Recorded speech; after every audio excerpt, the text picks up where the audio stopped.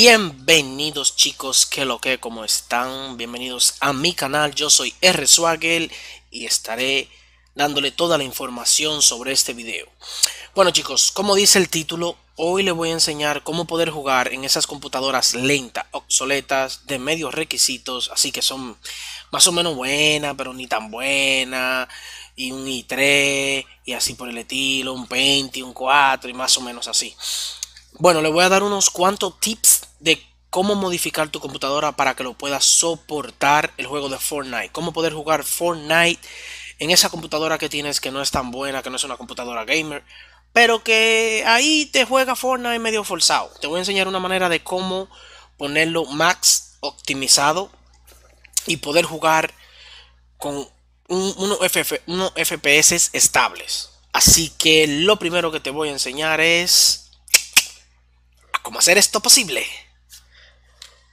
Vamos a ir a la barra de aquí donde está, si tienes Windows 10, perdón, estoy muy agripado.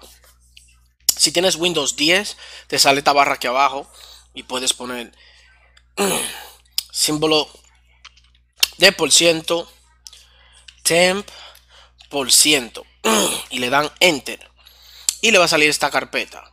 Hay otro método que es este también la, tecla de Windows más R, escriben lo mismo, por ciento, temp, por ciento, y le dan a Enter. Y va a salir la misma carpeta.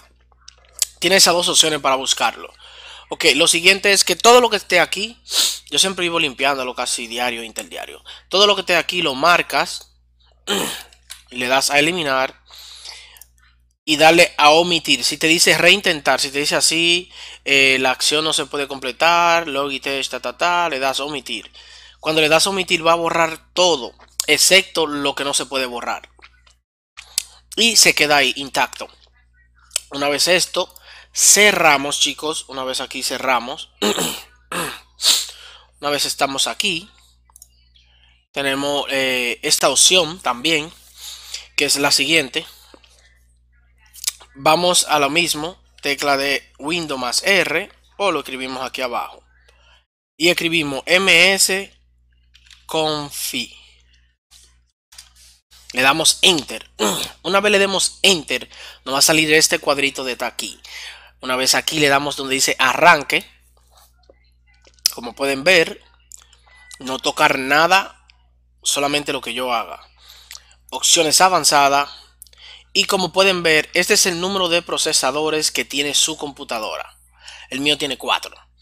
Entonces, tú le das al número de procesadores, yo le doy al 4, le di al 4. Los mark, va a estar así de marcado y va a decir 1. Tú le das ahí, eliges el máximo número, pan, que es 4, y le das a aceptar. Ya yo lo tengo, no le voy a dar, para que vean que ya lo tengo, ¿ven? Lo tengo marcado. O sea, el truco que le estoy dando, los trucos, ya yo mismo lo uso y me funciona bien. Incluso puedo hacer streaming, que antes no podía hacer streaming y ese tipo de cosas. Una vez ahí, vamos a inicio. Vamos a inicio. Ok, vamos a inicio, abrir administración de tarea. Una vez abrimos esto, ok, vamos de nuevo. Le damos, estamos aquí en arranque ponemos el número de procesador, el máximo, y vamos aquí donde dice inicio, y vamos a darle aquí, abrir administrador de tarea, inicio. Ok, aquí, como pueden ver, dice alto, ninguno, bla, bla, bla. Esto lo tengo activado, lo tengo que desactivar. Lo que no uses, lo que no necesitas, esto es lo que inicia cuando tú prendes la computadora. Todos estos programas son lo que se inicia. Como no lo necesito, yo lo tengo deshabilitado. Este es el único que no tengo deshabilitado. Esto está deshabilitado. El Logitech lo necesito. Esto también lo necesito. Eh, deshabilitado. Está deshabilitado. Deshabilitar. Eso está desactivado, deshabilitado, deshabilitado. Ok, deshabilita todo lo que no necesitas que inicie con tu computadora. Eso va a hacer que tu computadora tenga más fuerza para poder jugar Fortnite. Se concentre más en Fortnite. Ok, una vez hecho esto, le damos a cerrar aquí. Y aquí le damos a aplicar cambio. Una vez lo aplica, la computadora se te va a reiniciar. Se te va a reiniciar de completo, la reinicia, bla, bla, bla. Todo muy bien. Ahora vamos al punto muy importante para que todo sea completo y funcione 100% a la perfección. Una vez aquí abrimos Fortnite.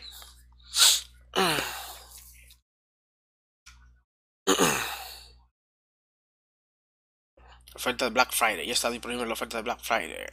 Epic Game Store. Bien hecho. Iniciamos el Fortnite. Otra cosa muy importante. Déjame esperar que inicie el juego. Le damos aquí y ven Epic Game. Esto lo podemos cerrar. Ya el juego cargó. Lo podemos cerrar. Salir. Y eso nos va a ahorrar mucho rendimiento porque el, launcher de Epic Game coge mucho, mucho, eh, coge mucho capacidades de la computadora también. Bueno, una vez el juego empiece, ya se está empezando, como ven en pantalla. No voy a cortar el video, lo voy a seguir así para que vean todos los pasos que hago y vean que sí funciona. Como lo ven, yo lo uso así. A mí me funciona bastante.